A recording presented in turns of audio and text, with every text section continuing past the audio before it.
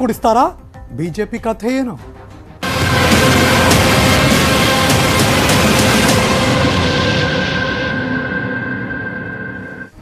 ಈ political story ತುಂಬಾ ಕುತೂಹಲವಾಗಿದೆ. ಇದೀಗ ಬರ್ತಿರುವಂತಹ ಬ್ರೇಕಿಂಗ್ ನ್ಯೂಸ್ ನೋಡಿ.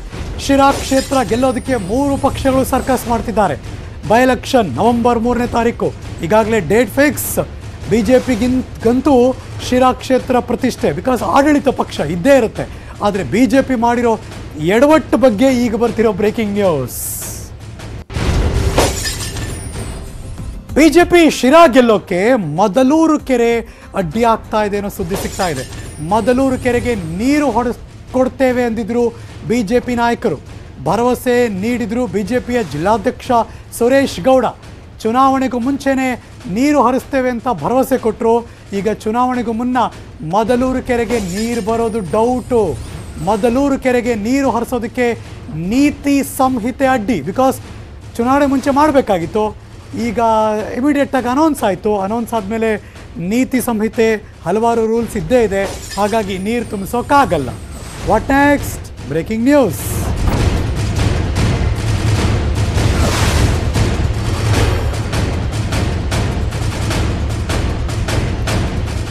ನಮಗೆ ಅದೆಲ್ಲ ಗೊತ್ತಿಲ್ಲಪ್ಪ ನೀವು ಹೇಳಿದ್ದೀರಾ, ನೀರು ಹರಿಸಿ, ನೀರು ಹರಿಸಿದ್ರೆ ಮತ ಕೊಡ್ತೀವಿ ಅಂತಿದ್ದಾರಂತೆ ಗ್ರಾಮಸ್ಥರು. ಮೊದಲೂರು ಸುತ್ತಮುತ್ತ ಐವತ್ತರವತ್ತು ಸಾವಿರ ಓಟಿದೆ ನೀರು ಹರಿಸದೆ ಹೋದರೆ ಬಿ ಜೆ ಪಿಗೆ ಬಿತ್ತು ಹೊಡ್ತಾ ಅಲ್ಲಿ ಅಂತ ಜನ ಮಾತಾಡ್ತಿದ್ದಾರೆ. ಸಿದ್ದರಾಮಯ್ಯನವರು ಮುಖ್ಯಮಂತ್ರಿ ಆಗಿದ್ದಾಗಲೂ ಕೂಡ ನೀರು ಬಿಟ್ಟಿರಲಿಲ್ಲ. ಇದೇ ಕಾರಣಕ್ಕೆ ಆ ಭಾಗದಲ್ಲಿ ಕಳೆದ ಬಾರಿ ವಿಧಾನಸಭಾ ಚುನಾವಣೆಯಲ್ಲಿ ಟಿ ಬಿ ಜಯಚಂದ್ರ ಅವರಿಗೆ ಬಿತ್ತು ಏಟು. ಅಂದರೆ ಓಟ್ ಬಿದ್ದಿರಲಿಲ್ಲ.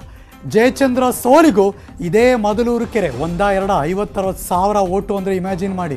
ಸೊ ಹಾಗಾಗಿ ಈಗ ಬಿ ಜೆ ಪಿಗೂ ಇದೇ ಮೊದಲೂರು ಕೆರೆ ಕಾರಣ ಆಗುತ್ತಾ? ಸೋಲು ಗೆಲುವು ಡಿಸೈಡ್ ಫ್ಯಾಕ್ಟರ್ ಆಗುತ್ತಾ? ನೀರು ಬಿಡದೇ ಇದ್ರೆ ಬಿ ಜೆ ಪಿ ಅಭ್ಯರ್ಥಿಗೆ ಓಟ ಹಾಕ್ತಾರಾ ಇಲ್ವಾ ಗ್ರಾಮಸ್ಥರು? ಬಿ ಜೆ ಪಿಗೆ ಮೊದಲೂರು ಕೆರೆನೇ ದೊಡ್ಡ ಮಟ್ಟದಲ್ಲಿ ಮುಳ್ಳು ಆಗುತ್ತಾ ಅನ್ನೋದು ಈ ಕ್ಷಣ ಎದ್ದಿರುವಂಥ ಪ್ರಶ್ನೆ. ಹತ್ತು ವರ್ಷ ಎಂ ಎಲ್ ಎ ಆಗಿದ್ರು, ಮಂತ್ರಿ ಆಗಿದ್ರು. ಜನಸಾಮಾನ್ಯರಿಗೆ ಏನು ಕೆಲಸ ಮಾಡಿಲ್ಲ ಮೊದ್ಲೂರು ಕೆರೆಗೆ ನೀರು ಹನ್ನೊಂದು ಕೆರೆಗೆ ನೀರು ಬಿಡ್ತಾ ಇದೀವಿ ಅಂತ ಹೇಳಿ ಮುಖ್ಯಮಂತ್ರಿ ಎಲ್ಲ ಪೇಪರ್ ಸ್ಟೇಟ್ಮೆಂಟ್ ಎಲ್ಲ ಬಿಟ್ಟಿದ್ದಾರೆ ರಾಜಕಾರಣ ಈ ಇಪ್ಪತ್ತು ವರ್ಷ ಮೂವತ್ತು ವರ್ಷ ಮಾಡ್ಕೊಂಡ್ ಬಂದ್ಬಿಟ್ಟವ್ರೆ. ಬಿಡಿಸ್ತೀವಿ ಬಿಡಿಸ್ತೀವಿ ಅಂತ ಎಂ ಎಲ್ ಎಗಳು ಆಗ್ಯವ್ರೆ ಮಂತ್ರಿಗಳು ಆಗ್ಯವ್ರೆ. ಬಟ್ ಯಾರು ಬಿಡಿಸಿಲ್ಲ. ಎಲೆಕ್ಷನ್ಗಿನ ಮುಂಚೆನೆ ಇವ್ರು ಬಿಡಿಸ್ತೀವಿ ಅಂತ ಹೇಳ್ತಾವ್ರೆ. ಅದ್ ನೋಡ್ಬೋದು ಹಿಂದೆ ಹತ್ತು ವರ್ಷ ಕಾಂಗ್ರೆಸ್ ಸರ್ಕಾರ ಇತ್ತಲ್ಲ ಒಂದೂವರೆ ವರ್ಷ ಮೊನ್ನೆ ಜೆ ಡಿ ಎಸ್ ಸರ್ಕಾರ ಸಮ್ಮಿಶ್ರ ಸರ್ಕಾರ ಇತ್ತು. ಅವ್ರು ಯಾಕೆ ಬಿಡಕ್ಕಾಗ್ಲಿಲ್ಲ? ಇವ್ರು ಬಿಡ್ತೀವಿ ಅಂತ ಅಟ್ಲೀಸ್ಟ್ ಬಿಡಿಸ್ತೀವಿ ಅಂತೆಲ್ಲಾದ್ರೂ ಹೊರಟಿದ್ದಾರೆ. ಎಲೆಕ್ಷನ್ಗಿನ ಮುಂಚೆ ನೀರು ಬಿಟ್ಟಂತ ನೂರಕ್ಕೂ ನೂರು ಬಿಜೆಪಿ ವಿನ್ ಸಾಲ ಮನ್ನಾನು ಬೇಡ. ಮತ್ತಷ್ಟು ಮಾಹಿತಿ ತುಮಕೂರಿಂದ ನನ್ನ ಸಹೋದ್ಯೋಗಿ ವಿಠಲ್ ದೂರವಾಣಿ ಸಂಪರ್ಕದಲ್ಲಿದ್ದಾರೆ. Good morning Vittal. Good morning Harish. ಭರವಸೆಗಳನ್ನ ಕಿ- ನಂಬಿ ಓಟ್ ಹಾಕೋ ಪರಿಸ್ಥಿತಿಲಿ ಇಲ್ಲ ಜನ ಅನಿಸ್ತಾ ಇದೆ ಈಗ. ಆ ಖಂಡಿತ ಹರೀಶ್ ಏನಂದ್ರೆ ಆ, ಈ ಹೇಮಾವತಿ ನೀರಿಗೂ ಮತ್ತೆ ತುಮಕೂರು ರಾಜಕಾರಣಕ್ಕೂ ಸಾಕಷ್ಟು ವಿನಾಭಾವ ಸಂಬಂಧ ಇದೆ ಅಂತ ಹೇಳ್ಬೋದು. ಅದ್ರಲ್ಲೂ ಏನ್ ಈ ಬಾರಿ ಉಪಚುನಾವಣೆ ಈ ವೇಳೆಯಲ್ಲಿ ಬಿಜೆಪಿ ನಾಯಕರು ಮತ್ತೆ ಬಿಜೆಪಿ ಜಿಲ್ಲಾಧ್ಯಕ್ಷರು ಕೊಟ್ಟಂತ ಭರವಸೆಗಳು ಶಿರಾ ಜನರಿಗೆ ಎಲ್ಲಿ ತಾಕಲು ಎಂಬ ಒಂದು ಅನುಮಾನ ವ್ಯಕ್ತಪಡಿಸ ಅನುಮಾನ ವ್ಯಕ್ತವಾಗ್ತದೆ. ಯಾಕಂದ್ರೆ ಬಿಜೆಪಿ ಮುಖಂಡರು ಈ ಮುಂಚೆ ಚುನಾವಣೆಗೂ ಮುನ್ನವೇ ನಾವು ಶಿರಾ ತಾಲೂಕಿನ ಮದ್ಲೂರ್ ಕೆರೆಗೆ ನೀರ್ ನೀರು ಕೊಡ್ತೀವಿ ಅಂತ ಹೇಳಿದ್ರು. ಆದ್ರೆ ಈವರೆಗೂ ಕೂಡ ನೀರು ಹರಿ ಹರಿಯುತ್ತಿಲ್ಲ. ಅದ್ರಲ್ಲೂ ಕೂಡ ಏನು ಈ ನೀತಿ ಸಂಹಿತೆ ಉಲ್ಲಂಘನೆ ಆಗುತ್ತೆ. ನೀತಿ ಸಂಹಿತೆ ಇರೋದ್ರಿಂದ ನಾವು ನೀರು ಕೊಡೋದಕ್ಕೆ ಆಗೋದಿಲ್ಲ. ಇವಾಗ ಏನ್ ಮಾಡ್ತಾರೆ? ಬಿಜೆಪಿ ನಾಯಕರ ಸ್ಟ್ರಾಟಜಿ ಏನಾಗಿದ್ರೆ? ಅಂದ್ರೆ ಈಗ ಈ ಎಲ್ಲಾ ಲೆಕ್ಕಾಚಾರ ನೋಡ್ಕೊಂಡು ಈಗ ಈ ಇದನ್ನ ಅಂದ್ರೆ ಮುಂದಿನ ಚುನಾವಣೆ ಮುಗಿದ ನಂತರ ಏನಾದ್ರೂ ನಾವು ನೀರು ಕೊಟ್ಟೇ ಕೊಡ್ತೀವಿ ಅಥವಾ ಇದಕ್ಕೇನಾದ್ರೂ ಬೇರೆ ಯೋಜನೆ ರೂಪಿಸ್ತೀವಿ ಅಂತ ಹೇಳಿ ರೈತನ ಕನ್ವಿನ್ಸ್ ಮಾಡೋ ಸಾಧ್ಯ ಈಗ ರೈತರು ಮಾತಾಡ್ತಿದ್ರು ಸಿದ್ದರಾಮಯ್ಯ ಅವರು ಇದ್ದಾಗಲೂ ನೀರು ಬಿಟ್ಟಿರ್ಲಿಲ್ಲ. ಈ ಬಿಜೆಪಿನೂ ನೀರು ಬಿಟ್ಟಿಲ್ಲ ಅಂತ. ಓಟ್ ಯಾರಿಗೆ ಹಾಕ್ತಾರೆ ಹಂಗಾರೆ?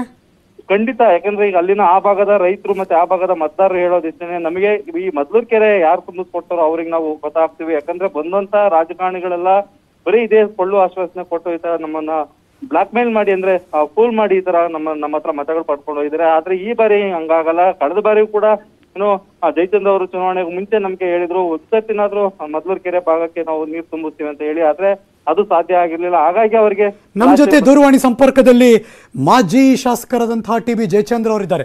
ಸರ್ ನಮಸ್ಕಾರ ಸರ್. ನಮಸ್ಕಾರ ನಮಸ್ಕಾರ ನಮಸ್ಕಾರ ಹೇಳಿ. ಕೆರೆಗೆ ನೀರು ತುಂಬಿಸೋ ಕೆಲಸ ಈಗ ಇನ್ಯಾರ್ದೋ ಮತವನ್ನು ತುಂಬಿಸೋಕ್ಕಾಗಲ್ಲ ಅನ್ನೋ ಸುದ್ದಿ ಅಲ್ಲಿಂದ ಹೌದಾ. ಸರ್. ಸರ್. ಆದ್ರೆ ಸರ್. ನನ್ನ ಧ್ವನಿ ಕೇಳಿಸ್ತಾ ಇದೆ can you hear me sir sir okay ಮತ್ತೆ ಲೈನ್ ಮತ್ತೆ ರೀಕನೆಕ್ಟ್ ಮಾಡೋ ಪ್ರಯತ್ನ ಮಾಡ್ತಾರೆ ನನ್ನ ಕೊಲೀಗ್ಸು ಟಿ ಬಿ ಜಯಚಂದ್ರ ಅವರು ಸಿಕ್ಕಿದ್ರು. ಕೋರ್ಸ್ ವಿಠಲ್ ದೂರವಾಣಿ ಸಂಪರ್ಕದಲ್ಲಿದ್ದಾರೆ.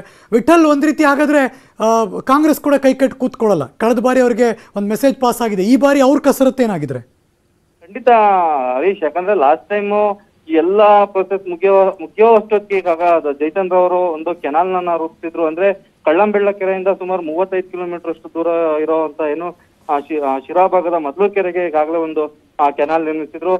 ಈಗ ಅವರು ಈ ಕೆನಾಲ್ ನಿರ್ಮಿಸಿರೋದು ನಾನೇ ಆ, ಹಿಂಗಾಗಿ ನನಗೆ ಮಠ ಬೇಕು ಅಂತ ಹೇಳಿ ಅವರು ಇದನ್ನ ಈ ಅಜೆಂಡಾ ಮುಂದೆ ಇಟ್ಕೊಂಡು ಮತ ಕೇಳ್ಬೋದು. ಮತ್ತೆ ಇನ್ನೊಂದು ಈ ಎಲ್ಲ ಈ ಎಲ್ಲ ಪ್ರಶ್ನೆ ಆದ್ಮೇಲೆ ನೀರ್ ನಾನೇ ತರ್ತೀನಿ ಅಂತ ಹೇಳಿ ಒಂದು ಈ ಎಲ್ಲ ಒಂದು ಮಾತುಕತೆ ಮುಖಾಂತರ ಕಾಂಗ್ರೆಸ್ನವರು ಓಟ್ ಕೇಳ್ಬೋದು Harish. Thank you so much Vittal Kumar. ಈ ಕ್ಷಣದ ಮಾಹಿತಿಗಾಗಿ.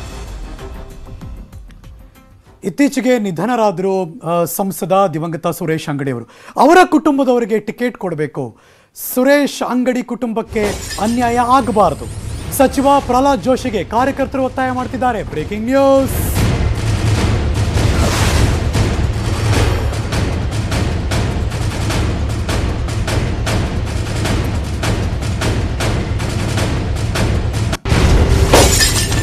ಬೈ ಎಲೆಕ್ಷನ್ ಅಲ್ಲಿ ಸುರೇಶ್ ಅಂಗಡಿ ಕುಟುಂಬದವರಿಗೆ ಟಿಕೆಟ್ ಕೊಡಬೇಕು. ಅಂಗಡಿ ಕುಟುಂಬಕ್ಕೆ ಸಾಂತ್ವನ ಹೇಳೋದಕ್ಕೆ ಆಗಮಿಸಿದ್ರು ಪ್ರಹ್ಲಾದ್ ಜೋಶಿ ಅವರು. ಈ ಸಂದರ್ಭದಲ್ಲಿ ಪ್ರಹ್ಲಾದ್ ಜೋಶಿ ಅವರಿಗೆ ಕಾರ್ಯಕರ್ತರು ಕೂಡ ಒತ್ತಾಯ ಮಾಡಿದ್ರು. ಸುರೇಶ್ ಅಂಗಡಿ ಅವರ ಕುಟುಂಬಕ್ಕೆ ಮುಂದೆ ಬೈ ಎಲೆಕ್ಷನ್ ಬಂದಾಗ ಟಿಕೆಟ್ ಕೊಡಬೇಕು ನೀವು ಅನ್ನೋದು ಆ ಎಲ್ಲ ಕಾರ್ಯಕರ್ತರ ಒತ್ತಾಯ ಆಗಿತ್ತು. ಅವರ ಕುಟುಂಬಕ್ಕೆ ಸಾಂತ್ವನ ಹೇಳೋದಕ್ಕೆ ಇದೀಗ ಸಂಸದ ಪ್ರಹ್ಲಾದ್ ಜೋಶಿ ಅವರು ಬಂದಿದ್ದರು ಆ ಸಂದರ್ಭದಲ್ಲಿ ಕಾರ್ಯಕರ್ತರು ಒತ್ತಾಯ ಮಾಡಿದ್ರು. ಎಡಭಾಗದಲ್ಲಿ ನೋಡ್ತಾ ಇದ್ದೀರಾ ಅವರ ಆ, ದಿವಂಗತ ಆದಂತಹ ಸಂದರ್ಭದಲ್ಲಿ ನಂತರದಲ್ಲಿ ಇದೀಗ ಸಂಸದ ಸುರೇಶ್ ಅಂಗ ಸುರೇಶ್ ಅಂಗಡಿ ಅವರ ಕುಟುಂಬಕ್ಕೆ ಸಾಂತ್ವನ ಹೇಳೋದಕ್ಕೆ ಪ್ರಹ್ಲಾದ್ ಜೋಶಿ ಅವರು ಬಂದಿದ್ದರು ಅವ್ರ ಕುಟುಂಬದವ್ರ ಜೊತೆ ಎಲ್ಲ ಮಾತಾಡಿದ್ರು. ಅದಾದಮೇಲೆ ಕಾರ್ಯಕರ್ತರೆಲ್ಲ ಬಂದು ಸರ್ ಕುಟುಂಬದ ಅದರ ಅಂಗಡಿಯವರ ಕುಟುಂಬಕ್ಕೆ ಮುಂದೆ ನೀವು ಟಿಕೆಟ್ ಕೊಡಬೇಕು ಅನ್ನುವ ಒತ್ತಾಯವನ್ನು ಈ ಮೂಲಕ ಮಾಡಿದ್ದಾರೆ.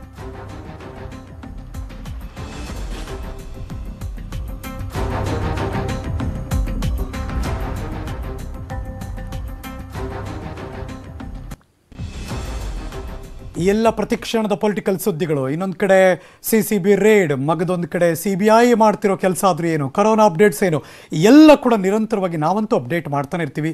ನ್ಯೂಸ್ ಏಯ್ಟೀನ್ ಕನ್ನಡ ಚಾನಲಲ್ಲಿ ಅಟ್ ದ ಸೇಮ್ ಟೈಮ್ ನೀವು ಎಲ್ಲಿ ಕೂತರೂ ಕೂಡ ಕ್ಲಿಕ್ ಮಾಡ್ಬೋದು. Kannada dot news eighteen dot com click ಮಾಡಿದ್ರೆ ಅದು ಮೊಬೈಲಲ್ಲಾಗಲಿ ಡೆಸ್ಕ್ಟಾಪಲ್ಲಾಗಲಿ ಟ್ಯಾಬಲ್ಲಾಗಲಿ ನೀವು ಎಲ್ಲಿ ಕೂತರು ಕೂಡ ಮಾಹಿತಿಗಳಂತೂ ನಿಮಗೆ ಸಿಗ್ತಾನೆ ಹೋಗ್ತಾ ಇರುತ್ತೆ.